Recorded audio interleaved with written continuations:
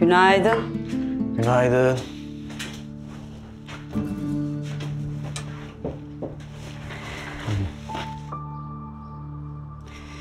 Ee, ne yaptın? Nasıl geçti dün akşam? Her şey yolunda mı? Yolunda. Kahve içtik lokalde. Öykü de daha iyi zaten. Kahveden sonra?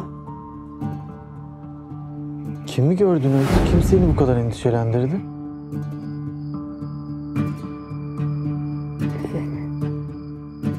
Ben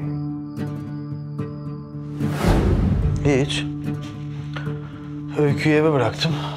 Sonra da eve geldim. Sen ne yaptın?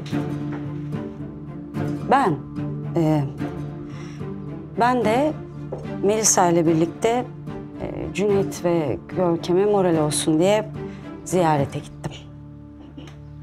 Cüneytlere.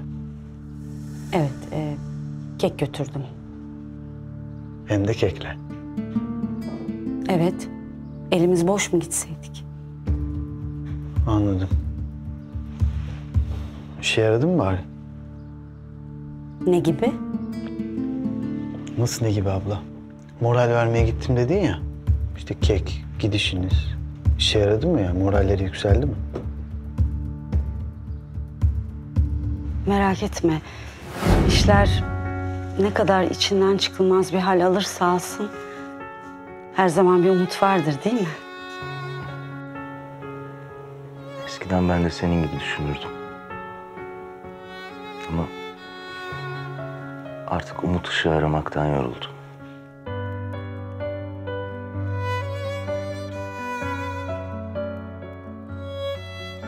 Bütün bu kötü günler geçecek.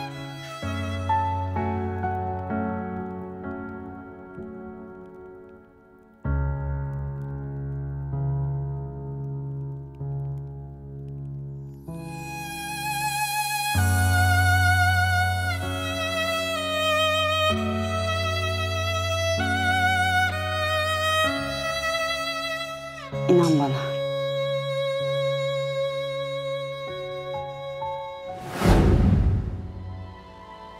Umarım yaramıştır Metin.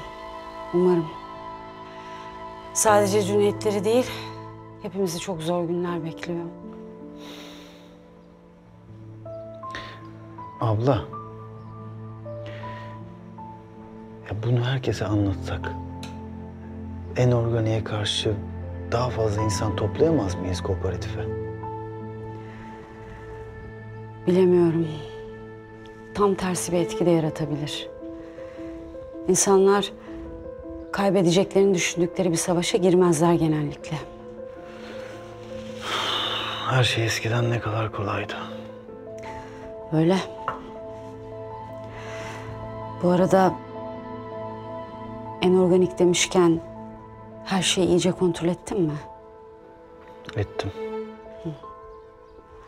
Ben çünkü Selim de bu aralar avare gibi dolaşıyor. Aklı beş karış havada. Çok dikkatli olmamız gerek. Yok yok. Gelmeden kapı pencere ne varsa baktım. İyi iyi. Yani gerçi şirket gözünü bu kadar kararttıysa yani kilit üstüne kilit vursak kaç yazar.